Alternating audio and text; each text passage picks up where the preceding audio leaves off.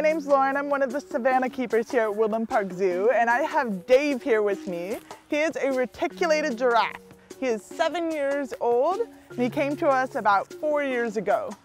So Dave here is about 16 and a half feet tall, and he is showing off his very impressive tongue. That's actually one of my favorite adaptations on these animals. So you can see behind us here, he's got some of what we call browse. Now giraffes only eat plants, so he's a really big animal, so he has to eat a lot of plants. True or false? Giraffes are the tallest land mammals on Earth. True.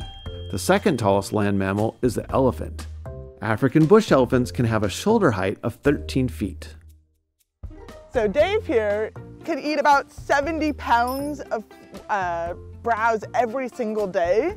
So what he's doing is he's gonna use that tongue to help him rip leaves off to help him to eat. Now he's gonna eat every part of that, including some of the small branchy bits. So he is what we call a ruminant. So he is really, really good at eating food that doesn't have a lot of calories in it, but actually processing it down so he can get all the nutrients out of it. So what he's gonna do is he's gonna eat this food, it's gonna go into his stomach, and then he's actually gonna bring it back up and chew it some more so that way he can process it down even better. So every day he is getting about anywhere from 30 to 50 pounds of food a day.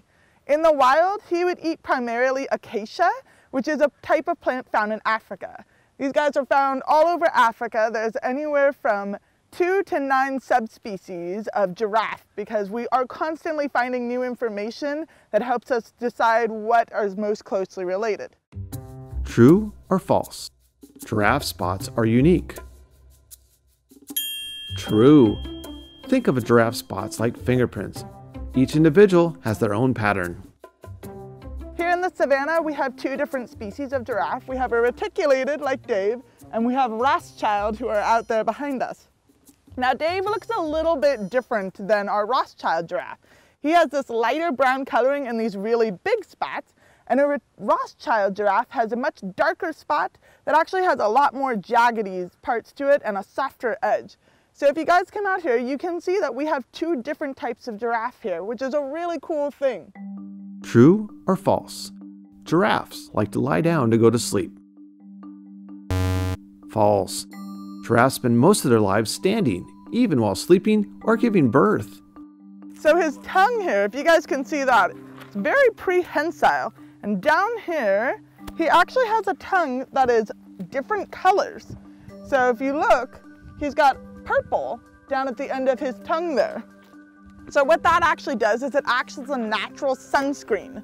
So when he is eating for many, many hours a day, he could actually get a sunburn on his tongue. So it's very important for him to be comfortable eating. So that's a really great way that they've adapted to help them survive in that environment. It's also incredibly tough. Acacia has very sharp thorns on it, and what they do is they're able to wrap that tongue around and remove the leaves without hurting themselves. Hey. Lower your carbon footprint to do your part against climate change, which is raising temperatures and causing drought in Africa. Taking a stance on climate change can help save both humans and giraffes. So giraffe in the wild eat mostly acacia, and one of the ways that you can help them is by actually picking out pieces of wood that are not that are sustainably harvested. So they will be stamped by the Forestry Stewardship Council if they have been. And that's a great way to help giraffe in the wild since they are a vulnerable species. Giraffe enthusiasts can stick their necks out for giraffes and help support conservation efforts by visiting Woodland Park Zoo, which works with the Giraffe Conservation Program as a conservation partner.